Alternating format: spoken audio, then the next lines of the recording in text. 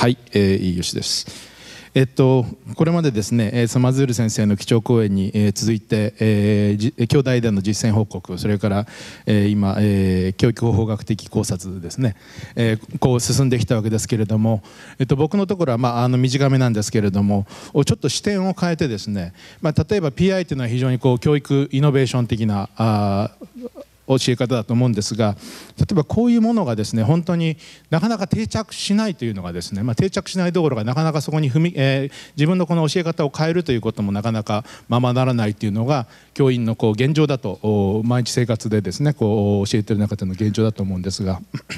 でこれあの、まあ、あの昔アップルが Think Different っていうやつやっててですね、えー、これをやって、まあ、そのアップルのデザイナーのこのジョナサン・イブという、えー、人がですねこう言ってて、まあ、その異なるのは簡単だけれどもより良くなるのはとても難しいと。で Think Different っていうのはいいんですけれども例えばちょっと人と違うことをやってみる。人と違う教え方で教えてみる。ということがですね必ずしも良くなっていない。ことっていうのはその新規性っていうのはあってもですねなかなかそれが良くなってるかどうかっていうのはなかなか難しい。ということで異なってえ、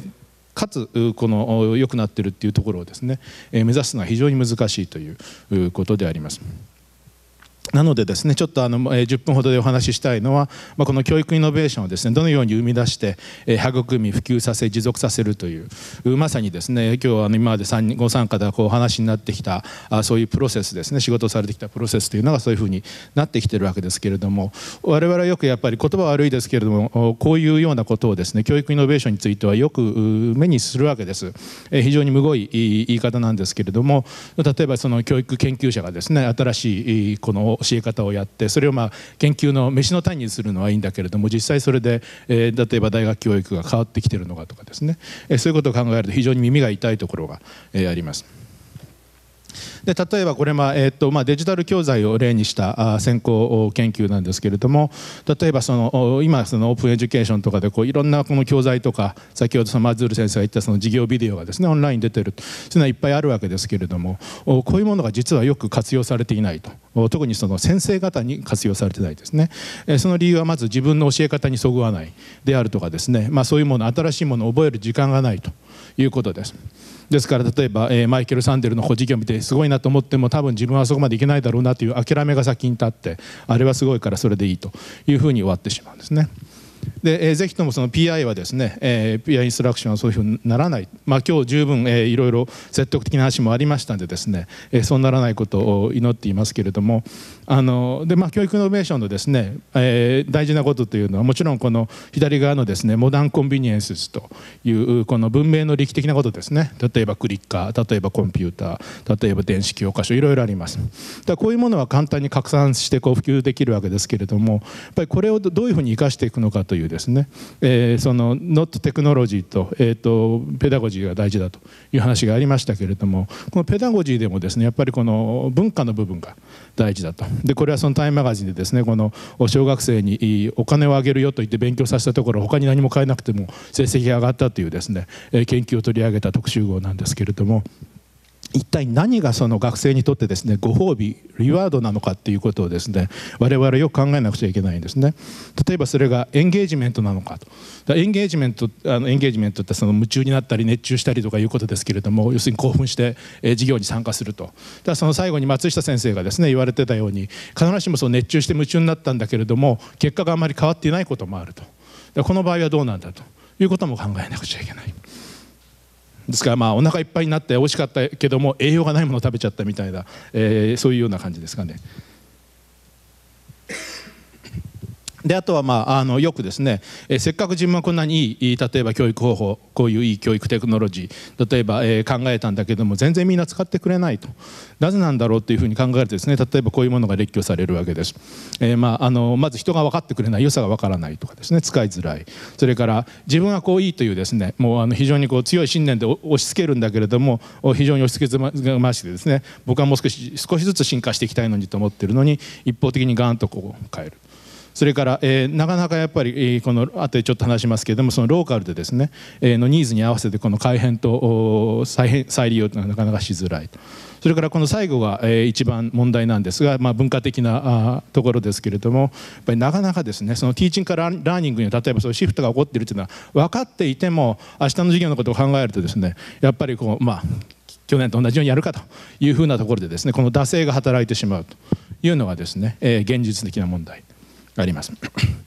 であの今日あの先にも出てましたけどそのカール・ワイマン、えー、先生ですねノーベル賞を取られた方ですけれども彼がやっぱりこういう物理のシミュレーションをですねこのノーベル賞の賞金を全部使って作ったという有名なエピソードがあるんですけれどもこれ彼例えば7年前にこれやってたこのウェブサイトでですねみんなこうただでこの物理のシミュレーションを使ってえ使えるわけですけれどもこの時に出ていたのはこのまあ赤でこうちょっと囲ってあるところですけれどもこのどういうふうに使使えばいいのかというのはこの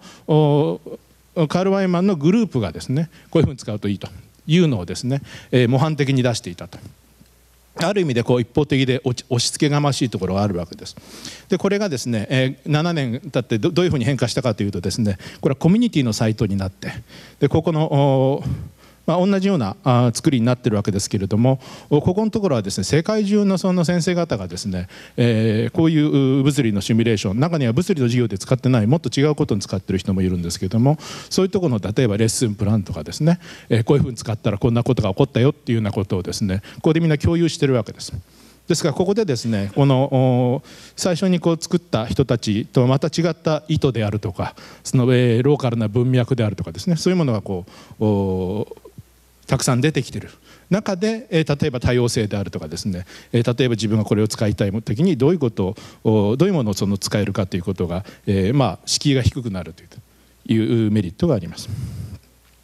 それからこれもですね、えー、と今日も出てきたですねこの MIT でやってる、まあ、 Technology Enabled Active Learning とこれマズール先生とお話しした時にうちは僕のやってるのはその Technology Enabled じゃないというですねごめんなさい D が抜けてますけど Technology Enabled じゃない、え、ところも強調したいと確かにこの生でこう教えていく中で、え、このテクノロジーがピュッピュッと入っていくということで必ずしもテクノロジーがなければ絶対できないということでもないんですけれども。でこれでですね、えー、これもあの時々話すネタなんですけれどもこの最初はこうみんな万々歳とこのアクティブラーニング万々歳ということだったんですがこうニューヨーク・タイムズでこの記事がオンライン版で取り上げられた時にですねこの掲示板のとこにこの MIT の学生いろんな人からこうみんなコメントが来たんですね。これはいいとか素晴らしいとか MIT は進んでるとかいろんなのがあって。でその中にですね MIT のその学生がいて、えー、それでこれは自分は今このティールを取ってるけれども好きじゃないと。嫌だと。時間ばっかり取って大変だと。いうネガティブなコメントがですねいくつか出てきた。で先生もですね、えー、このこういうのがいいという先生といやそれからこういうのはああの時間の無駄だというような先生もですね、えー、アメリカ中からこう例えばこうもうけんけんがくがくの議論が生まれてですねこうやって炎上してしまったわけですねここは。でしかもですねこの教育研究的にはですねこのアクティブラーニングというのが、まあ、今日のマズール先生のお話でもあったと思いますけれども効果があるというのは分かってる。効果があるんだけども学生が例えばその方法を好んでいないとかですねところがその半分の学生はレクチャーの方がいいっていうふうに言ってるわけですねそういうアンケートの結果ですねそこのところどうするんだという話であります。そのレクチャーの時はその脳が活動してないというあれもありましたけどもテレビを見てる時も脳は活動していないと。だけどもテレビを見てる時脳活動してないけどもおそらく我々はテレビ見て学ぶことは多いと思うんですよね。そこら辺のところを例えばどう考えるのかということです。で、えー、ご存知のようにですね、えー、このティーチングとラーニングのこの知知というのはですね教育知というのは非常に複雑で、えー、こういうようなまあ、今日のあのピアインストラクションでもそうですけれどもいろいろなものがこう絡み合ってですね必ずしもこれ一発でパンと動くというようなものになかなかならないこういうものを複雑に組み合わせていくその中でいろんな試行錯誤があってですね、えー、うまくいくうまくいかないということがある。で僕はそのカーネギー財団の時にやっていたこの、まあ、研究開発でですね仲間とやっていたのがこのそういうオンライン上でですねこういうことはどうやってできるのかと。例えばこのワークスペースというのはですね、えー、例えば今あのマズル先生お作りになっているピアインストラクション .net みたいな形でまずこの先生たちのコミュニティというのをオンラインでこうやる。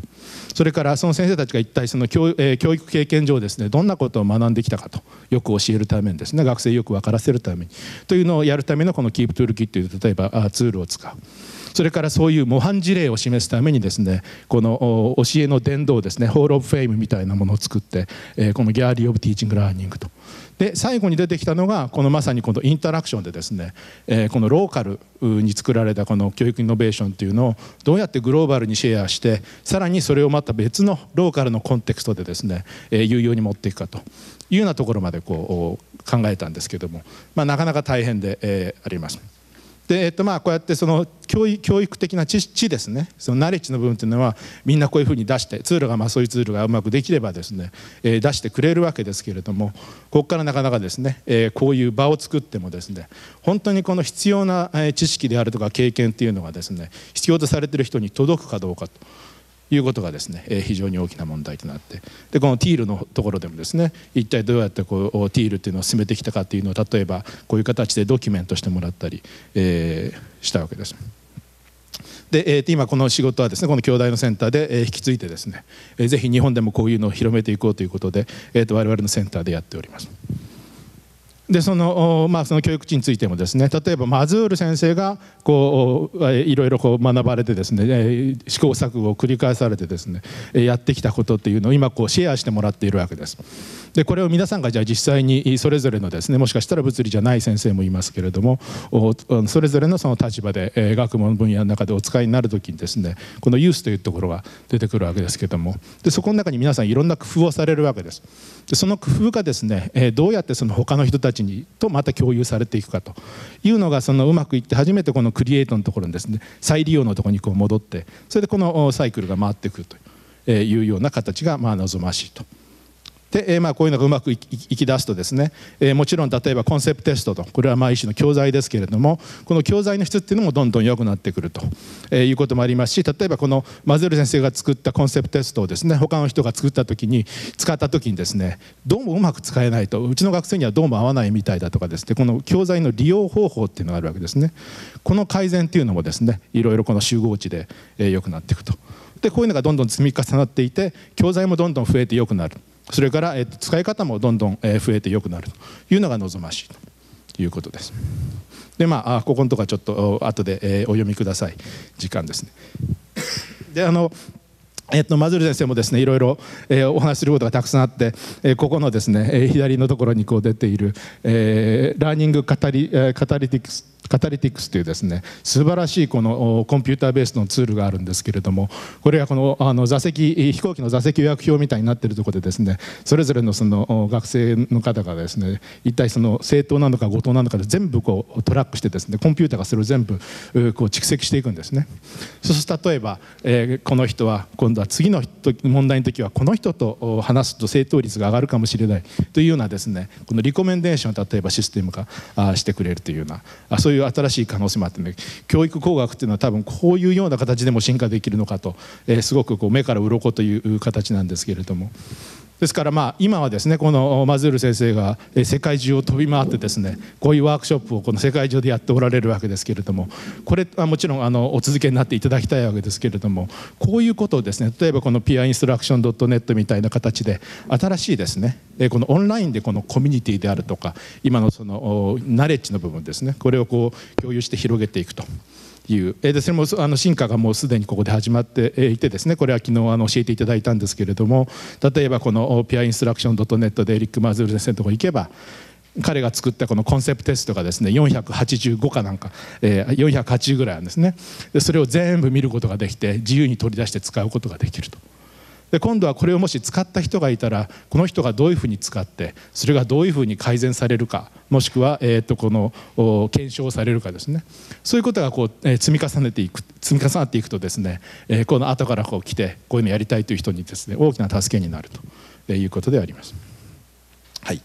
えー、でまああとはあ、まあ、ここのとこもですね、えーまあ、この集合的な文化というのはまずこうこういうのを醸成することが非常に大,、えー大え、大切だということでですね、えーまあ、教育コンシェルジュのような仕組みっていうのはこれから必要になってくるんじゃないかと。素晴らしい教え方素晴らしい先生、えー、いてですね。それが求めているですね、学習者とどういうふうにそれをつなげていくかということであります。